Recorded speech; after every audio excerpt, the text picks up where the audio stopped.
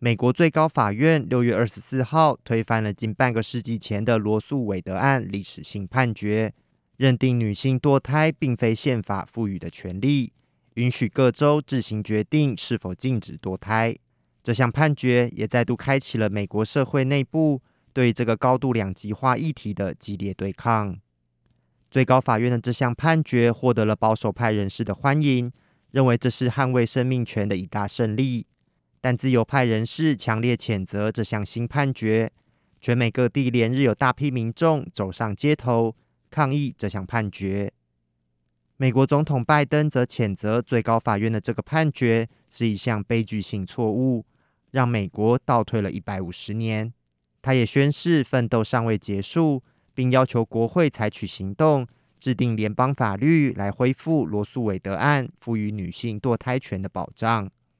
从一九七三年以来，最高法院的几项重大判决确立了宪法赋予女性堕胎的权利。一九七三年的罗素韦德案，原告是本名麦考维德罗，当时她未婚怀孕，却因为德州法律的规定而无法堕胎，因此提出了诉讼。这起案件后来一路上诉，最终最高法院做出了历史性的判决，正式确立了女性堕胎权的保障。一九九二年的计划生育协会诉凯西案，则是美国最大堕胎倡议组织——美国计划生育协会，对宾州的堕胎相关法规提出法律挑战。最高法院在此案的判决中，进一步允许女性在胚胎拥有母体外存活力，通常是怀孕二十四周以前，享有堕胎的权利。但数十年来，堕胎权持续成为美国社会最具争议的焦点。反堕胎阵营不断希望推翻这项裁决，而支持堕胎权的阵营则誓言维护。这个争论在美国前总统川普任内出现了重大转变。川普一口气任命了三名保守派大法官，使得保守派在最高法院取得了过半席次，也让外界推测最高法院可能会推翻罗素韦德案的判决。而最高法院六月二十四号就以五比四的票数。推翻了这两项有关堕胎的历史性判决。最高法院这次推翻堕胎权的判决，立即性的影响就是让美国多个保守派州限制堕胎的法案将迅速生效。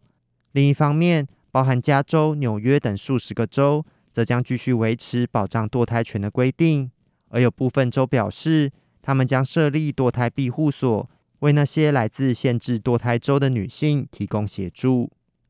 华府智库布鲁金斯研究所研究员卡马克认为，新判决不仅让女性受害，也让美国分裂。It's going to take something that was, you know, accepted medical practice for for half a century and suddenly make it illegal. I, I believe it will, of course, hurt poor women um, and uneducated women more than it will hurt educated women. And it's just one more issue that's going to turn tear the country in two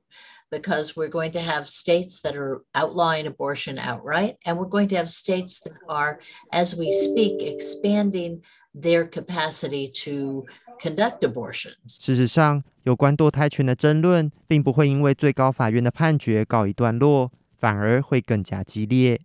一方面美国总统拜登正试图在国会推动联邦法案借此保障全美各州的堕胎权利不过，由于拜登所属的民主党在参议院仅拿下刚好过半席次，未能达到六十席通过法案的重要门槛，要通过法案难度甚高。因此，拜登期待堕胎权争议能激发更多选民在今年十一月的其中选举支持民主党。但另一方面，部分共和党人也希望推动联邦立法，进一步禁止堕胎，让全美所有州。都将堕胎列为非法行为。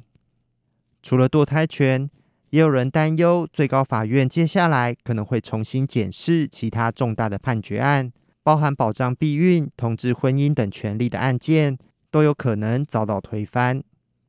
卡马克认为，未来势必会看到更多法院的判决，而美国可能将走入一段动荡的时期。Uh, my guess is there will be many decisions in the future because th- th- this is a clash between this. There's going to be clashes over all sorts of issues, even ones that we can't anticipate right now, that will be between the states. And so the only way to solve those will either be congressional action or Supreme Court action. So I believe we're we're seeing just the beginning of a of a long and tumultuous time. 美国最高法院推翻堕胎权的历史性判决，再度点燃女性自主权的战火。可以预见的是，这个议题不仅将成为美国十一月期中选举的焦点，也将是整个美国社会未来一段时间必须面对的重大挑战。央广编译郑锦毛报道。Bye.